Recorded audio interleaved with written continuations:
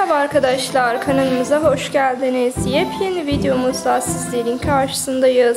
Emanet dizisinin başrol oyuncuları Halil İbrahim Ceyhan ve Sıla Türkoğlu'nun güzel set görüntüleri, set videosu geldi arkadaşlar. Dizi setinde güzelce anlaşarak uyum içerisinde çalışıp iki sezondur büyük başarıya imza atan oyuncularımızın son zamanlar arasındaki Soğuk rüzgarlar izleyicileri de üzmeye başladı.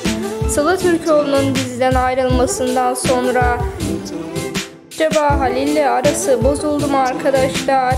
Umarım aralarındaki güzel bağ devam eder. Yepyeni videolar için kanalımızı lütfen izlemede kalın. Hepinize iyi seyirler.